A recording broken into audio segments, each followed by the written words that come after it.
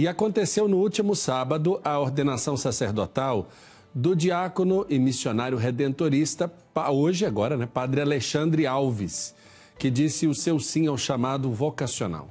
A equipe da TV Pai Eterna acompanhou a celebração que aconteceu na cidade de Jaraguá, no interior de Goiás. Vamos acompanhar.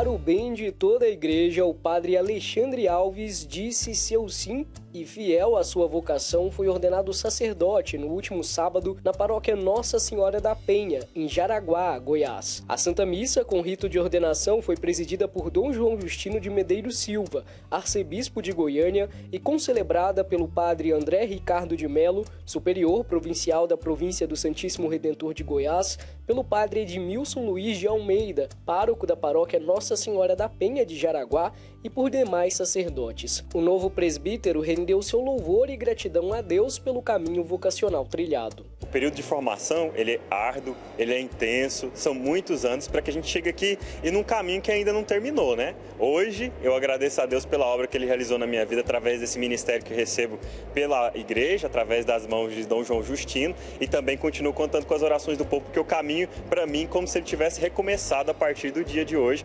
já que hoje eu recebo o segundo grau da ordem. Então ainda tem muito para trilhar. Padre Alexandre nasceu aqui na cidade de Jaraguá no dia 2 de setembro de 1996. O filho do senhor Kleber e da saudosa senhora Ana foi batizado e recebeu pela primeira vez o sacramento da Eucaristia nesta igreja dedicada a Nossa Senhora da Penha. Em 2012 começou seu caminho de discernimento vocacional. Após quase uma década dedicado aos estudos e à formação espiritual e eclesial, em 4 de março deste ano fez sua profissão perpétua na Congregação do Santíssimo Redentor. E no dia 5 de março, no dia seguinte, neste ano de 2022, foi ordenado diácono.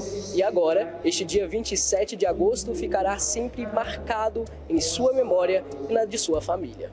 O coração está na mão, né? E ao mesmo tempo agradecido a Deus né, por esse tanto tempo que ele vem percorrendo o caminho e graças a Deus hoje ele alcançou essa graça e muito emocionado, né? E tenho certeza que a mãe dele também não está presente, mas está junto de Deus, né? E celebrando antes também essa bênção maravilhosa.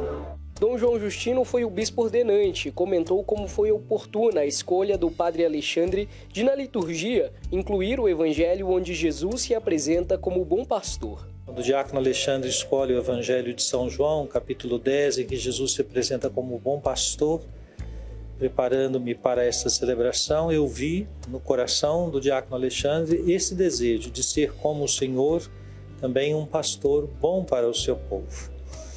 É, o foco que o presbítero precisa colocar, ter, é sempre Jesus, o modo como ele cuida do seu povo. É o que nós vamos meditar nesta celebração e rezar, pedindo a Deus que faça do diácono Alexandre um pastor segundo o seu coração. Padre André Ricardo comentou sobre a alegria de acolher junto à família redentorista este novo sacerdote que está comprometido em anunciar a copiosa redenção. Todo sacerdote é um dom, é uma dádiva de Deus. Hoje a nossa congregação, a nossa província de Goiás, se alegra porque mais um de seus membros está sendo ordenado sacerdote para o louvor de Deus e o serviço ao povo de Deus. Então é um momento de graça, de alegria, de júbilo, porque Deus nos concede essa graça e também de esperança da continuidade da missão que se estenderá de eterno. Confiamos isso. O neo-sacerdote escolheu sua cidade natal para ser sagrado presbítero. Padre Edmilson, pároco do local, comentou como esta escolha foi significativa para o povo de Deus da cidade de Jaraguá é um motivo de rejuvenescimento, de motivação e de alegria. Há 15 anos atrás, ele foi coroinha nesse mesmo altar que hoje ele será ordenado sacerdote. Ali ele cultivou, descobriu e cultivou a vocação sacerdotal. Naquele tempo eu já era pároco aqui no primeiro momento e conosco ele caminhava pelos rincões dessa paróquia, na simplicidade de uma criança, servia ao altar. E para hoje, para nós hoje é motivo de emoção e como eu já disse, motivação para outros jovens seguir os, seguir os caminhos de Jesus Cristo no anúncio do Evangelho. Só posso dizer que para nós jaraguenses, para a comunidade de Nossa Senhora da Penha, é um momento de muita alegria, de rejuvenescimento da fé e de motivação para outros jovens.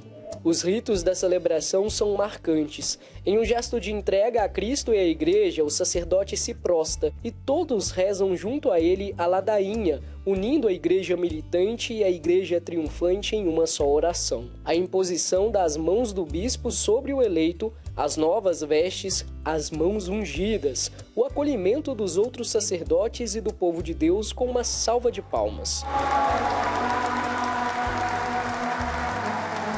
Tudo isso para celebrar e revelar a grandeza deste gesto repetido pelo padre Alexandre de se entregar inteiramente a Deus. A vida de um padre, é, embora às vezes a gente não conheça bem, é, é, uma vida com muitas possibilidades, principalmente dentro da igreja. É, nesse primeiro momento, eu continuo colaborando na igreja de Goiânia, lá na paróquia Nossa Senhora da Guia, junto com o padre Valmir e os meus demais confrades. E hoje, basicamente, o que muda no meu ministério para o que eu já poderia fazer como diácono é que eu posso continuar é, rezando batizados, é, matrimônios, mas hoje eu posso celebrar a Eucaristia, né, que é o grande ápice da vida de um padre, e também também é ministrando o sacramento da confissão, através da escuta das confissões, e também o sacramento da unção dos enfermos.